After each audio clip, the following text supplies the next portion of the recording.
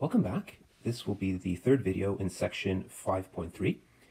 Uh, in this video, we're going to go over proposition 5.3.3 as well as 5.3.4, and we'll give both the statements and the proofs. Uh, let's start with a little recall, a reminder of a definition that we gave a while ago, which is that uh, two matrices, A and B, are said to be row equivalent, and the notation is this little equivalent sign, if there exists a sequence of elementary row operations, we'll call them O1, O2, all the way to OK, that turns A into B. Right, so the notation, I use this notation here to say that uh, starting from A, if I apply O1, I get A1, then I apply O2, I get A2, and so forth until we get to B. Okay, so in general, think of the notation like this. I don't want to make this too cumbersome, but we do have to agree on some notation. So I'll say like this, if you put AI minus 1 on the left, and let's say AI here, then this is operation OI. Okay, so OI turns AI minus 1 into AI. So just keep that notation in mind because we're going to use it in a second uh, and be in the proof of the propositions. Okay, so let's read the statements together. So proposition 5.3.3 says that if A is row equivalent to B, then there exists a sequence of elementary matrices E1, E2, all the way to EK, such that EK times EK minus 1 all the way down to E1 times A equals B. So you notice the order in which we're multiplying the elementary matrices is reverse order in which we listed them. And I'll show you why that is in a second. Okay, so the statement is that if there are operations that go from A to B, a sequence of operations, then there's a sequence of elementary matrices, and you notice it's the same number of matrices as we gave of operations, so K operations and K matrices. And so let's take a look at what this means. So think of the matrix, the first one, say matrix E1, as um, elementary matrix. So if E1 is the elementary matrix associated to the first operation, so associated to uh, O1, right? What does that mean? Well, in other words, if you start from I and you apply O1, you get E1. Okay, so that's what we mean by the matrix E1. It's associated to the operation O1.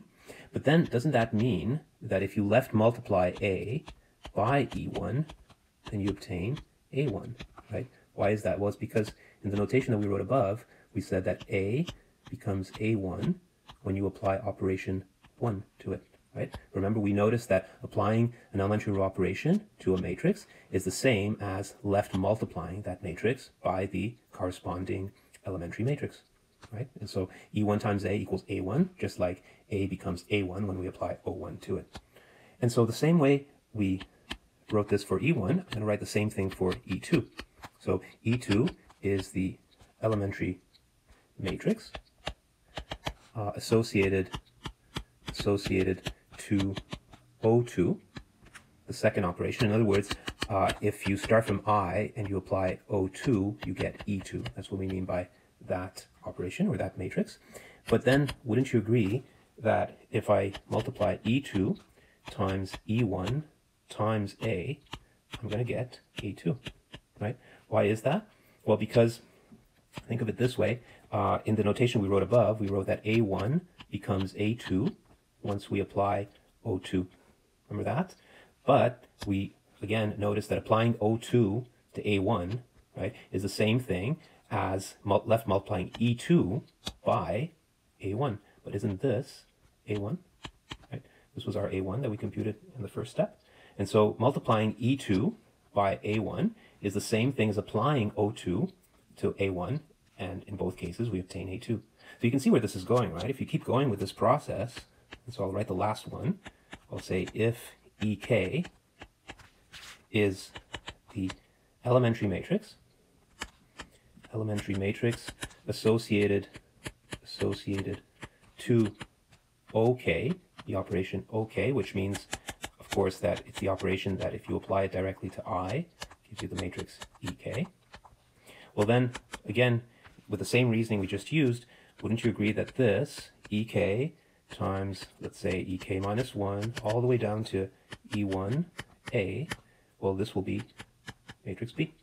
Why matrix B? Well, because Remember in the notation we wrote above, we wrote that if you have AK minus 1 and you apply OK to it, you get B. Remember that? If we scroll back up a second, you notice here the last, the last statement here is AK minus 1. If you apply OK to it, you get B.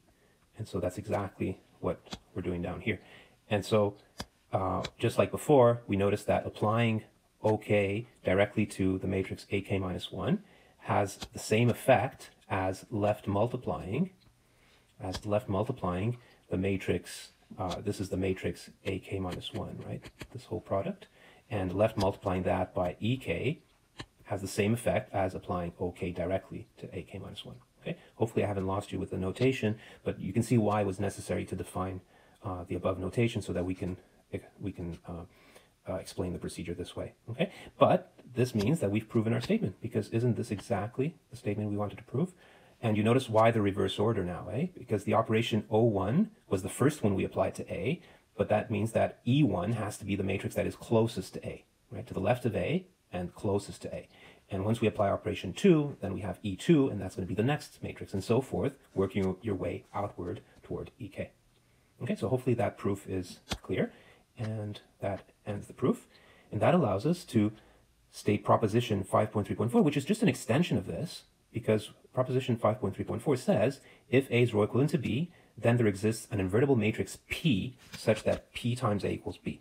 But this is really just a direct consequence of what we just proved, right? Because in the previous proposition, we said that if A is row equivalent to B, then there exists a sequence, there exists a sequence of elementary matrices, of elementary matrices, such that, such that, and so I'm going to write them just like, like I did above, EK all the way down to E1 times A equals B, right? That's what we just proved. But you notice this product of K matrices, we can just give it a name. Let's call it matrix P, right? Once you multiply out the, all these matrices, well, that's going to be uh, a matrix B, i.e. we can say that P A equals B, right? Where the matrix, so the matrix P is the product of EK all the way to E1. Carefully, I'm not putting commas here because this is an actual product. I'm not just listing the matrices, I'm multiplying them. And so this matrix P, well, it's a product of elementary matrices, product of elementary matrices. But remember we proved in a previous proposition that every elementary matrix is invertible, and therefore uh, P is also a product of invertible matrices. Therefore, P is a product product of invertible matrices, because each one of those elementary matrices is invertible. But a product of invertible matrices is invertible. Remember the property that we saw a while back? So I'm going to state it first. Uh, and therefore, P is invertible. Invertible. Okay. Why is that? Well, you might recall a little while back. Um, here, I'll put it in bracket. Uh, I'll say recall that uh, we said right here that if you have k matrices, AK, and they're all invertible, are invertible, uh, then their product is also invertible, and in fact, A1 dot dot dot AK inverse, remember this, is equal to AK inverse times all the way to A1 inverse. Sorry, these should be three dots, not four or five. Uh, do you remember that? So it was uh, we apply the inverse to each matrix, but we reverse the order. Okay, so that property uh, was telling us that a product of invertible matrices is itself invertible, and you can write it off like that. And therefore, the matrix P that we uh, described as the product EK to E1, that matrix P is invertible, and we have PA equals B. That concludes the proof and concludes.